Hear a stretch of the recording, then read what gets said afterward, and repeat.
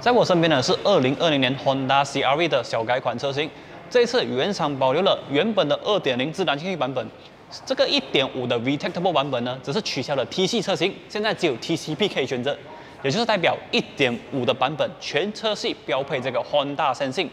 今天的影片我会带大家看看这一辆车和小改款之前有什么不一样。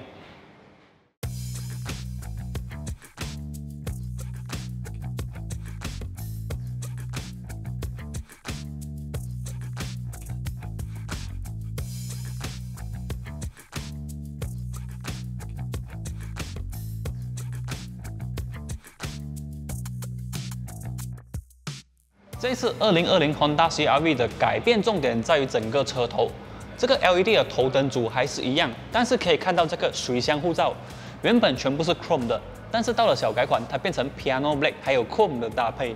除此之外，剩余的细节则是大同小异。在轮圈的设计方面呢，它同样也是换了一个全新的设计。这个新的轮圈呢，采用了这个双色调的搭配，而且有抛光的处理，看起来质感的表现还不错。而在尺寸上面呢，二点零的自然进气版本还是采用十七寸的轮圈，至于这个 VTEC Turbo 的版本呢，则是十八寸，它的轮胎尺寸是二三五六零 R 十八。在这个尾部的设计呢，主要还是改变在这个后面的保险杆，其余的细节都是大同小异。另外，它同样也支援这一个电动的尾门开启，还有脚踢式的尾门开启。打开了尾门之后，我们可以看到这个平整性非常大的尾箱。根据官方的数据，它的尾箱容积达到了五百二十二公升，所以你可以放置非常非常多的物品。而且这个还是在后椅背没有倒平的情况下的容积。如果你倒硬了后椅背的话，你可以获得的空间更大。要运载大体积的物品完全没有问题。打开引擎盖之后，这一具引擎还是我们熟悉的1.5公升 VTEC Turbo 引擎，最大马力表现是193 PS，峰值扭力243牛顿米。值得一提的是，在这一次的这个改款车型啊，TCP 也有这个 All-Wheel Drive 可以选择，也就是说你要前轮也有，你要四轮也有。在这个前轮驱动版本，零到一百的加速是8.9秒，而在这个 All-Wheel Drive 的版本，零到一百的加速是9.3秒。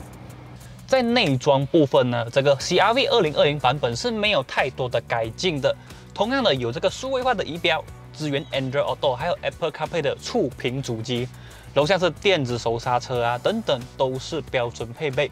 而我最喜欢这辆车的地方，第一点就是在于这个座椅。你可以看到，现在我的坐姿是非常的舒服的，不管是我的肩部、我的颈部，还是我的大腿，都有非常好的支撑。再来第二点就是这辆车的这个置物空间非常非常的多，不管是在这里，或者是这个中央扶手打开，我都可以轻而易举的放置非常多的东西，甚至你要在这个中央扶手这里放一台十寸的 iPad 都没有问题。这个是 Honda 一直以来的优势，他们的空间运用真的非常非常的出色。在小改款之前的 CR-V，只有在顶级的 TCP 版本才有这个 Honda Sensing 主动安全配备。但是在这一次的小改款之后啊，只要是一点五的涡轮增压版本就有这个配备了。所以说，不管你是买到这个 four wheel drive 还是买到 two wheel drive，你可以都可以享有 Honda 神性带来的便利。这套系统包含了这个前方撞击预警、自动紧急刹车、带低速跟随系统的主动式定速巡航，还有这些车道偏移警示、车道偏移辅助等等。另外，这个 Honda Lane Watch 呢，则是全车系的标准配备。就算你是买到二点零自然进气版本，都会有这个配备哦。这个后座的空间表现，我相信我不用说太多，大家都看得到了，真的是非常非常非常的宽敞。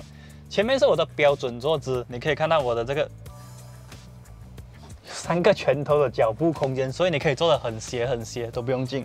而且它的宽度非常的够，加上这个座椅几乎全平，所以中间就算是坐大人都不用紧。你可以坐得非常的舒适，所以说 CR-V 是一台非常非常适合家庭用的这个 SUV 车型。另外，它在后面还有这个独立的冷气出风口，还有两个 2.5A 的这个 USB 插槽，可以方便这个后座的乘客为手机或者是其他的移动设备充电。加上前面的两个 USB，所以全车总共有四个 USB 插槽。以上就是我们为这个二零二零 Honda CR-V 所做的新车介绍。未来我们也会把这台车借出来做一个深度的试驾分享，请大家敬请期待。另外，在影片的下方，我们也会放出这个文章的链接，如果想了解更多详情，可以点击下方的这个链接哦。以上就是这一期影片的全部内容啦。喜欢的话，记得帮我们按赞、订阅、分享哦。我们下一次的节目再见，拜拜。